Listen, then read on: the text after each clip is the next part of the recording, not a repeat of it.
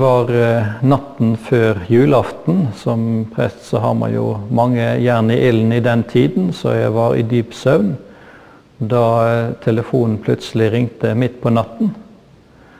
Og hadde det ikke vært for at jeg kjente igjen stemmen i den andre enden som en av mine kolleger, så ville jeg fort ha tenkt at det var noen som var ute på en dårlig spøk. Særlig når ordene lød 'Kirken brenner'. Klokken 3.05 i natt. Åsane kirke i Bergen er i full brann. Flammene står ut av vinduer og tak. Trekirken fra 1795 er ikke til å redde. Brannteknisk avdeling arbeider i dag ut fra en teori om at Åsane kirke er påsatt. Det er ikke lett å si hvorfor noen tok fatt med dette å brenne kirka. Det er klart at når først én har kommet på ideen, så vil andre ta det opp og si at 'jeg kan også'. Men eh, å brenne kirker har ikke vært noe tradisjonelt virkemiddel for kirkekritiske personer i Norge.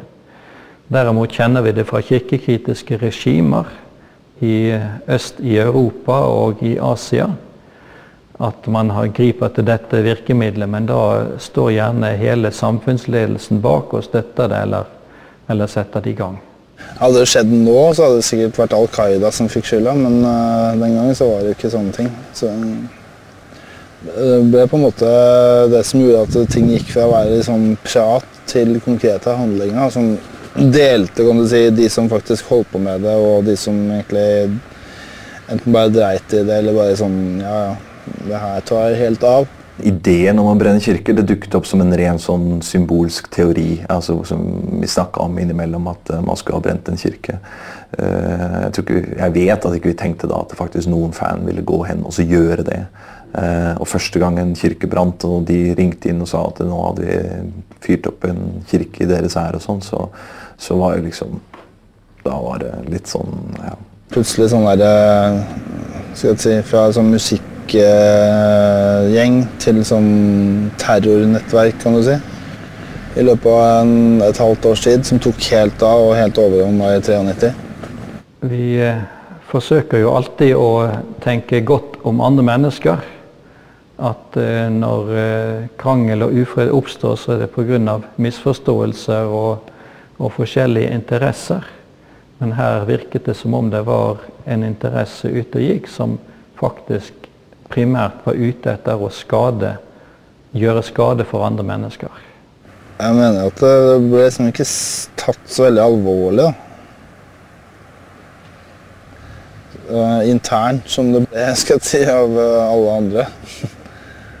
det var liksom sånn relativt, det ble sett på sånn relativt ufarlig, uh, siden det ikke det er jo ikke noe folk i kirken om natta, liksom. Så hvis man brant ned en kirke, så var det på en måte ikke noe sånn Du gjorde ikke det for å, for å drepe noen, da. Man skulle likt da, at det helst handlet om en symbolsk handling. Men uh, det handlet nok mer om uh, enkeltpersoners behov for anerkjennelse i et uh, ellers ganske strengt miljø. Eh, hvor da de som definerte dette strenge miljøet, ikke brant en kirke sjæl. Det var jo et ganske korttenkt tenkt prosjekt, vil jeg si. det var jo det var sånn En kirke som ble brent ned, ville alltid bli bygd opp da, på statens bekostning. Så. Jeg fikk mange telefoner jeg på 90-tallet av folk som ringte og, og snakka om at de skulle tenne på den ene kirka etter den andre. Men, men Hvorfor skulle de ringe meg og så varsle det? Hvorfor skulle de lage noe? Jo, fordi at de skulle få en eller annen form for anerkjennelse, en eller annen form for status. da.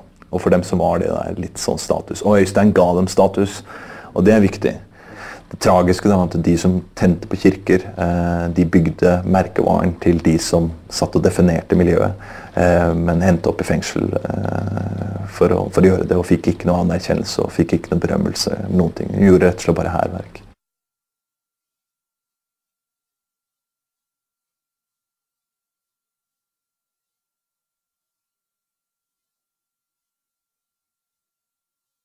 Jeg vet det forelå plan om å sprenge Nidarosdomen. Eh, det var ganske drøyt, da, hvis jeg hadde gjennomført det. Det ville vært sånn omtrent sånn World Trade Center-variant. da.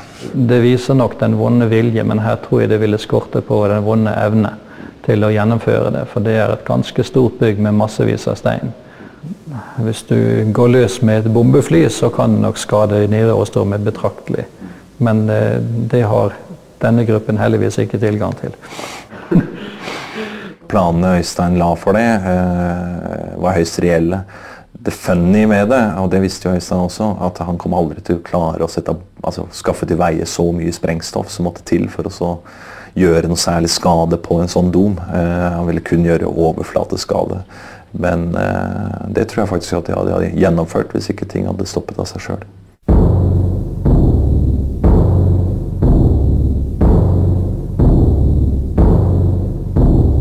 Samtidig med kirkebrannengreiene så var det jo det at eh, han Bård Eitun drepte han, han eh, homoen på Olympiaparken. Som på en måte gjorde at ting Det var jo vel så viktig sånn internt som kirkebrannen, vil jeg si, på det derre dødskult-saken. For det var jo kjent internt at det var han som hadde gjort det.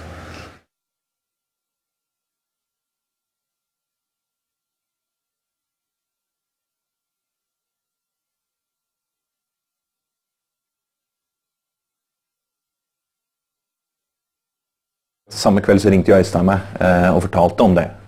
Ja, og eh, fortalte hva han hadde gitt ham råd til også. Eh, og jeg sa at det var et jævla teit råd, eh, og at han burde gå og melde seg. Hvis storyen var sann, da. Og storyen da, da jeg husker Øystein som ganske oppspilt eh, over dette var skjedd, og det er helt riktig. Øystein syntes det var eh, spennende kult med drap. Til det var så var det sett på som sånn der legitimt på En homse som hadde lagt an på en fyr, så hadde han liksom drept den. da. Det er, jo sånn, det er jo litt drøyt at det virker legitimt, men jeg gjorde det da. Jeg syns det var jævlig kult.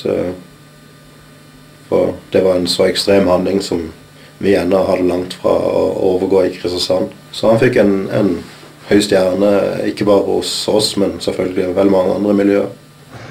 Han har jo sona sin straff, han. Han fikk jo